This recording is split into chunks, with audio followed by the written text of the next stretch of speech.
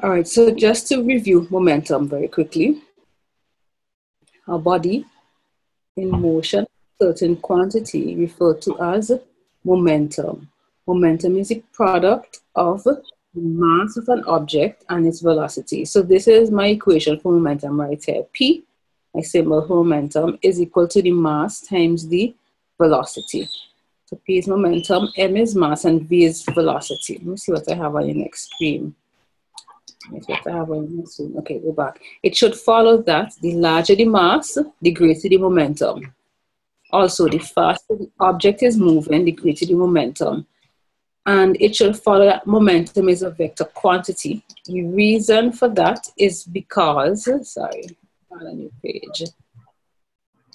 The reason for that is because we're looking at the velocity and not the speed. Remember that speed and velocity are almost the same thing, it's just that one of them takes into consideration direction, right? And that's velocity. You remember that? Here's an example.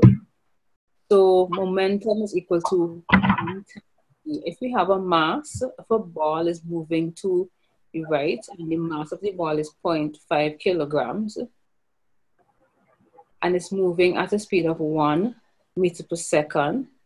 Then the momentum of the ball would be 0.5 kilograms times one meter per second. And it would be 0.5 kilograms meters per second from left to right, right? So, so that would be the complete um, description of the momentum quantity. And here's another example. What is the momentum of a 1000 kilogram car moving south at 2.5 meters per second? The momentum would be mass times velocity. What do I have here? There's a mistake. So P is 500 kg ms south.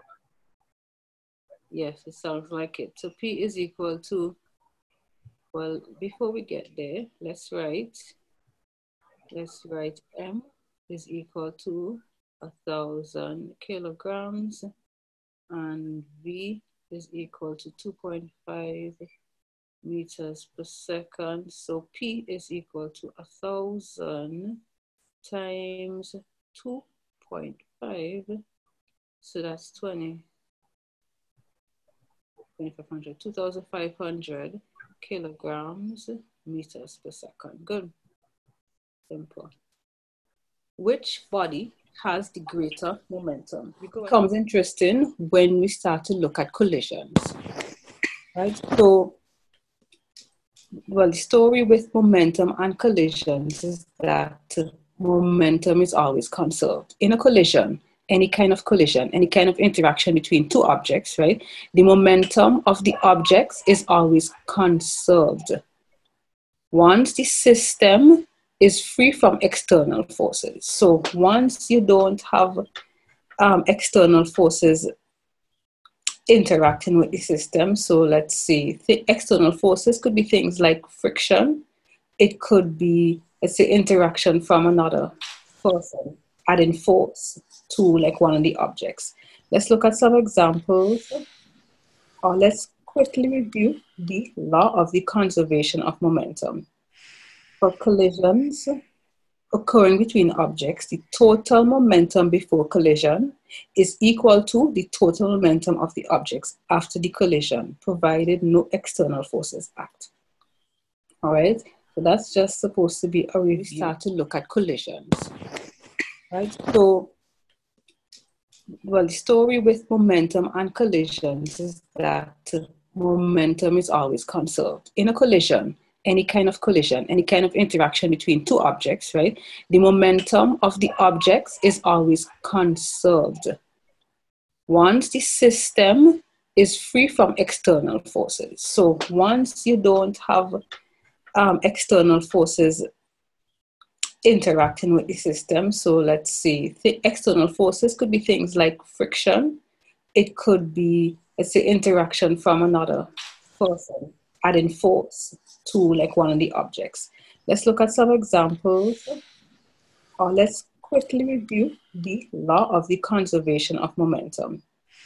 for collisions occurring between objects, the total momentum before collision is equal to the total momentum of the objects after the collision, provided no external forces act. All right, so that's just supposed to be a review. And what do I want to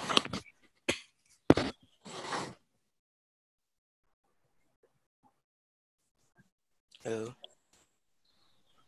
Okay. Uh, okay. All right. Okay. So I know what's happened. So look at this scenario here where we have ball one in motion and ball two stationary. Um, both balls have the same mass. It doesn't say, does it? It's velocity one, velocity zero. Um, the momentum is 0.5. That means that the mass of the ball is 0.5 kilograms. And the mass of this ball is the same, right? So identical balls is what we're looking at. When one collides with two, if the momentum is um, conserved. If no external forces act, what we have, we have all the momentum from ball one gets transferred to ball two. So that y'all could see the bottom here. You can see my mouse right in. Yeah. Yeah.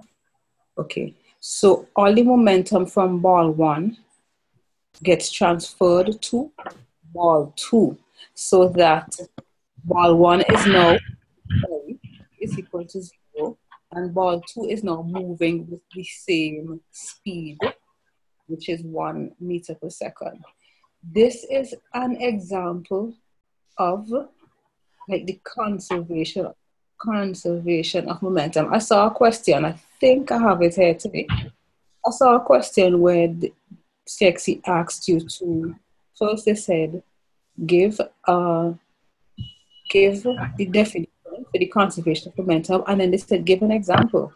And uh, Not sure if people knew the type of example to give, but if they ask you, if you ever see a question that asks, you know, like to give an example of the conservation of momentum, this is a simple example to give construct an example where the mass of the objects are the same. So you start with two objects. The mass must be the same, right? One ball or one object must be completely stationary and the other one must be moving, right?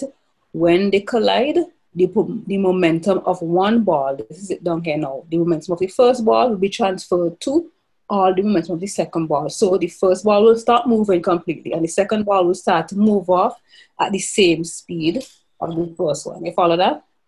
Yeah. Yeah. Okay, and you'll be able to answer it as a question if you saw a question that says, give an example of the conservation of momentum. Okay, so this here is basically what I said on the previous slide. All the momentum of the first ball was transferred to the second ball. Since the balls are the same size, the second one moves off with the same speed as the first. Here is another example